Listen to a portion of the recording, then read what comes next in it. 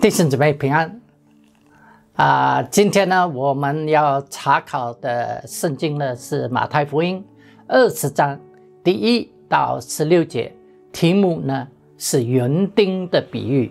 园丁的比喻啊，还没有开始，让我们做一个祷告。亲爱的神，谢谢你给我生命气息，也能再一次的来到你的面前思考你的话语。求圣灵这个时候打开我属灵的眼睛，让我能看见你的真理，更能让真理改变我的生命。奉耶稣名求，阿门，阿门。啊，今天我们查考的这段的经文呢，其实呢是上一章十九章的延续。哦，在十九章里面，我们看到。一个青年财主，因为舍不得放下财富，所以没有跟从耶稣。这引起彼得问了耶稣一个问题，他说：“我们已经舍弃一切来跟从你，那么我们会得到什么奖赏呢？”耶稣的回答啊，是在十九章里面，他说：“我再来的时候。”你们会跟我一起来统治啊这个新的国度啊！不当如此呢，你们今生也会得到百倍的回报。那么今天这段经文里面呢，是延续上面的，耶稣用了一个比喻来澄清他对彼得所说的那段话。好，让我们一起呢来读这段的经文啊，《马太福音》二十章第一节开始。因为天国好比一家的主人，清早去雇人进他的葡萄园做工，他和工人讲定一天一个银币，就打发他们进葡萄园去。约在上午九点钟出去，看见市场上还有闲站的人。他就对那些人说：“你们也进葡萄园去，我会给你们合理的工钱。”他们也进去了，约在正午和下午三点钟又出去。他也是这样的做，约在下午五点钟出去。他看见还有人站在那里，就问他们：“你们为什么整天站在这里闲站着呢？”他们说：“因为没有人雇我。”他说。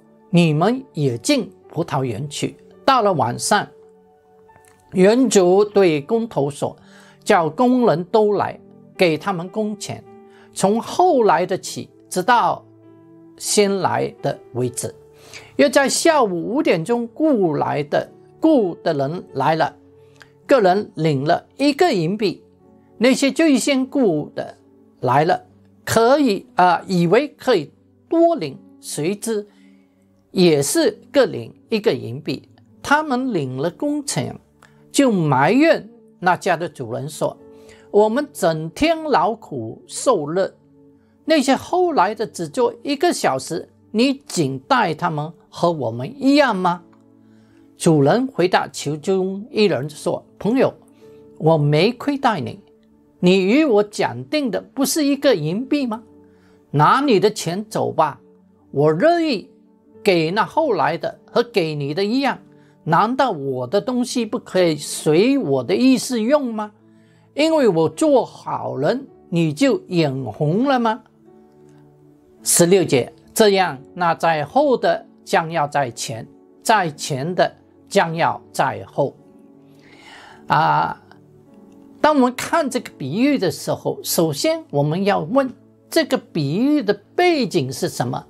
啊，这要我们看上下文，啊，你可以看到一开头二十章第一节，因为天国好比一家的主人，清早去雇人进他的葡萄园做工。这里有一个因为啊，这就是指跟前面十九章的是有关联的。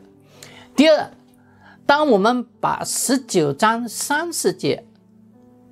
也就是，啊，前一章最后一节，跟二十章十六节做一个对比的时候，你会发觉到两节的经文其实是相似的。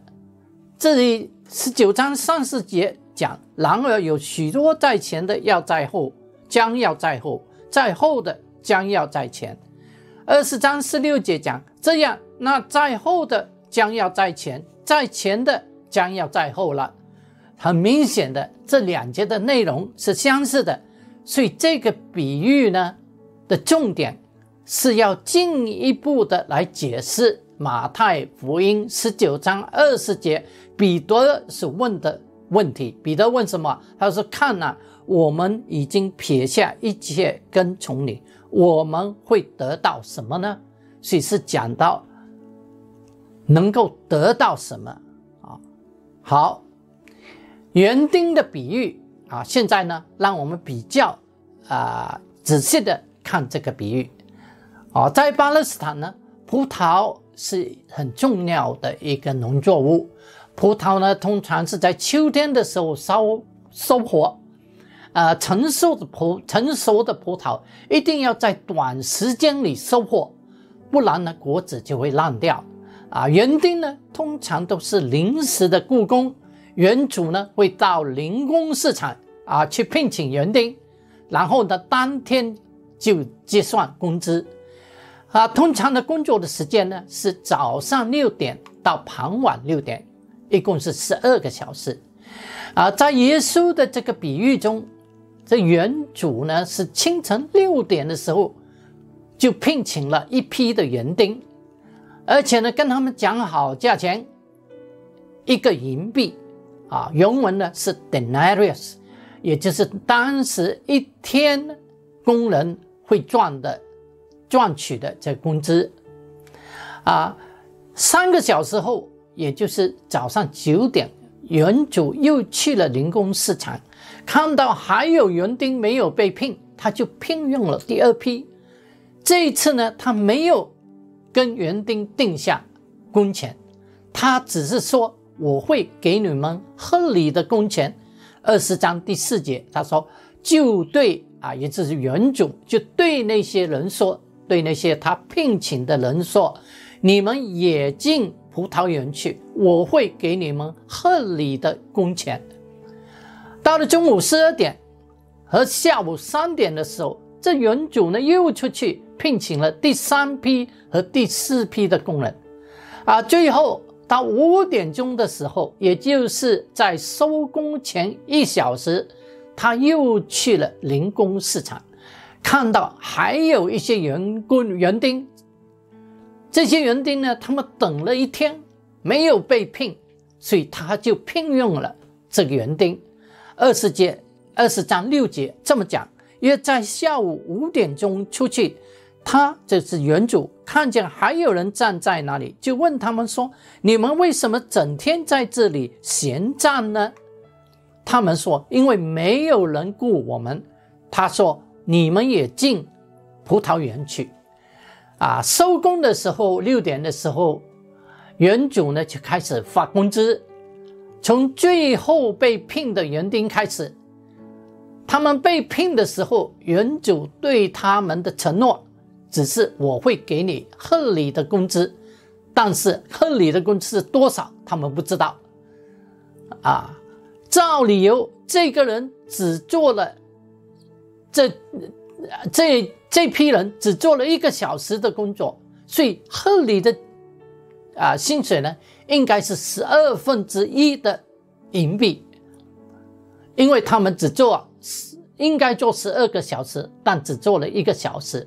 而一做十二个小时的合理价价钱呢，工资呢是一银币，所以他们应该得到十二分之一的银币，但是他们得到的却是一个银币，而不是十二分之一的银币。那么那些工作比较久的园丁，以为自己会得到比较多的工资啊，不是一银币应该。得的比较多，但是呢，所有的园丁，不管是做了一个小时、三个小时、六个小时、九个小时和十二个小时的，都得了同样的工资，就是一个银币。于是呢，那些得了十二个做了十二个小时工作的园丁，就埋怨园主，说他不公平。为什么这我们做了十二个小时，我们得到的这个回报，跟做了一个小时的是一样的？所以他们埋怨。那我们看原主是怎么回答啊？第一，原主说。我没有亏待你们这些做了十二个小时的园丁。他说：“我们已经讲好，起初就讲好，工资是一天一个银币。”二十章十三节啊，经文这么讲：主人回答其中的一人说：“朋友，我没有亏待你们，我与你们，你与我讲定的不是一个银币吗？讲好的。”一个银币，我现在给了你一个银币，我没有亏待你，啊。第二，原主呢有权给超出合理的工资，因为钱是他的，他要对某些人慷慨是他的权利。所以马太福音二十章十四节，原主这么讲，他说：“我乐意给那些后来后来的和给你的一样。”难道我的东西、我的钱不可随我的意思用吗？第三，园丁的埋怨呢？这是做了十二个小时的园丁，他们的埋怨的原因是什么呢？是妒忌。啊，二十章十五节说：“我因为我做好人，你就眼红了吗？”所以耶稣最后的结语是这样的。那在后的将要在前，在前的将要在后了，这是什么意思呢？从次序来解释，那最后的那在后的，就是指那些只做了一个小时的这些园丁，他们最早得到工资；那在前的，就是那只做了十二个小时的园丁。他们是最后才得到工资，但是从回报来解释呢？那些因为只能得到很少回报的，却得到出乎意料的大回报。他们只心里想，我只能够得到十分十二分之一的银币，但是他们却得到了很大的回报。所以在后的就变成。在前的那些以为自己会得到很大回报的，最后呢，其实，在他们眼中得到很少的回报，所以在前的反而变成在后的。让我们思考如何应用这个比喻在我们的啊生命里面。当神拯救我们。他也邀请我们来侍奉他，我们成为他葡萄园里的园丁。在神的葡萄园里面，有些园丁已经侍奉了很久了，因为很久以前他们就认识了耶稣，他们就进入了这个葡萄园。有些呢，可能是刚刚开始侍奉，因为他们刚刚才认识耶稣。这个比喻的重点呢，就是教导我们对侍奉的回报。当你侍奉神，你在园，你是一个园丁，在这个葡萄园里面工作的时候，你对这个回报应当持有怎样的一个态度呢？第一，你心里要充满感恩。这些园丁原本是没有工作的。本来他们是要饿肚子的，但是这个园主聘请了他们，给他们工作。同样的，我们原本是没有资格在天国里侍奉，因为我我们原本是属于撒旦的，我们不是属于神的国度的，没有能力，没有资格在这个葡萄园里面工作。但是耶稣拯救了我们，给我们一个新的身份，还预备了这个侍奉的岗位给我们，这完全是恩典，不是我们应该得到。所以我们的心里要充满感恩，为了能够侍奉而心里充满了感恩，这是第一点很重要的一点。使徒们能撇下一切来跟从耶稣，是恩典。如果不是上帝的恩典，他们就会跟那个青年财主一样，放不下财富地位，不能够来跟随耶稣。所以我们要为我们能够侍奉而感谢赞美神。第二，我们不要计较回报，我们侍奉神不要计较回报，要相信上帝会给公平的回报，因为他是公义的神，他一定会给我们合理的工钱、合理的回报，他不会亏待我们。就好像这个园主，他答应所聘用的这些园丁，你们会得到合理的工资。所以，我们不要把心思放在这个回报上，总是计算我的侍奉能得到什么回报。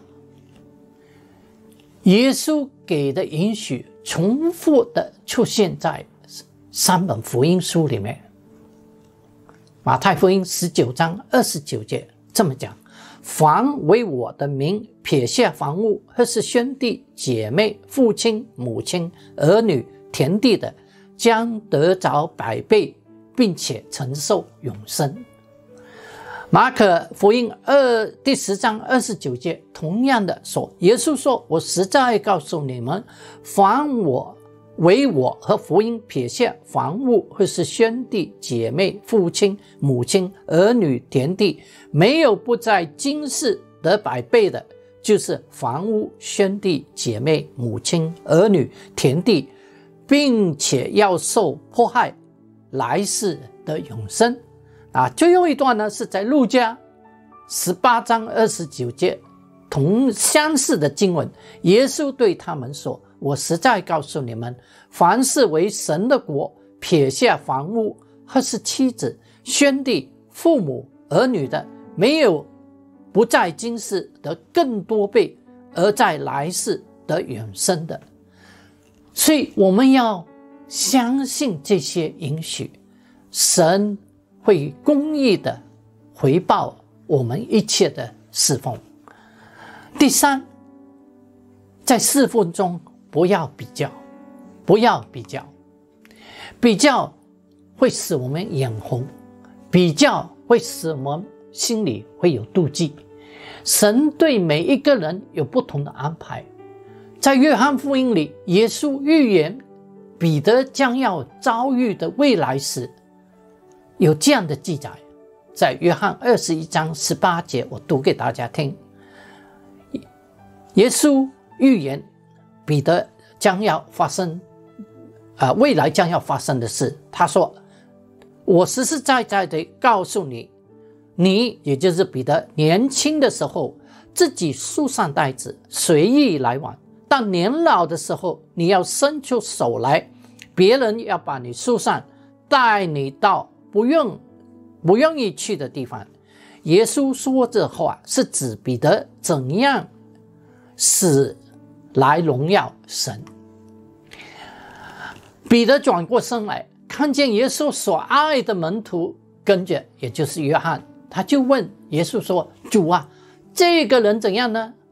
他说：“我在年老的时候会寻难，会死。但是这个约翰呢？约翰怎样呢？”耶耶稣对他说：“假如我要他等到我来的时候还在。”跟你有什么关系呢？你跟从我吧。耶稣同样的，今天要跟我们说：你不要看别人，不要看别人的别人的回报，这跟你有什么关系呢？你只要做一件事情，你跟从我吧。彼得问耶稣：约翰会怎样的？会有怎样的未来？耶稣说：这跟你没有关系，你只要跟从我就是了。今天，耶稣同样的对我们说：“你不要看别人侍奉的回报，跟这跟你没有关系，你只要来跟从我。这时候，让我们花一点时间来反省今天这段的经文。你有没有为你能够侍奉，心里充满感恩？还是你想减少侍奉，甚至想放弃侍奉，因为你觉得没有得到合理的回报？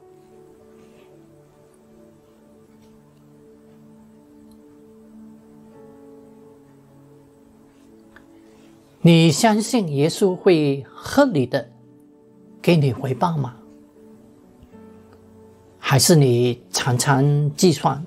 付出多少，得到多少回报，甚至有时感觉到回报太少了。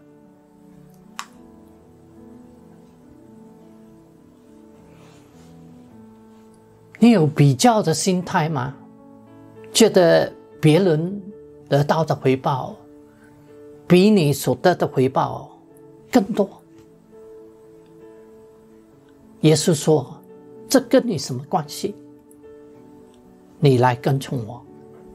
最后，让我们做一个祷告。亲爱的神，我今天再次的来到你面前，谢谢你让我能够在你的葡萄园里面工作，这完全是你的恩典。主啊，我心中充满感恩。主啊，求你帮助我，不要太计较。我得到的回报是什么？不要太计较，我付出多少，得到多少回报。帮助我是我知道你是公义的神，公平的神，你会给我合理的回报。主啊，求你帮助我，把这种比较的这种心态完全挪走。求你帮助我记住你所说的话，这跟你什么关系？你来跟从我，主啊，我只要紧紧的跟从你。将祷告祈求，奉耶稣基督名求，阿门，阿门。请你继续思考这经文如何应验在你的生命里，然后求圣灵对你说话。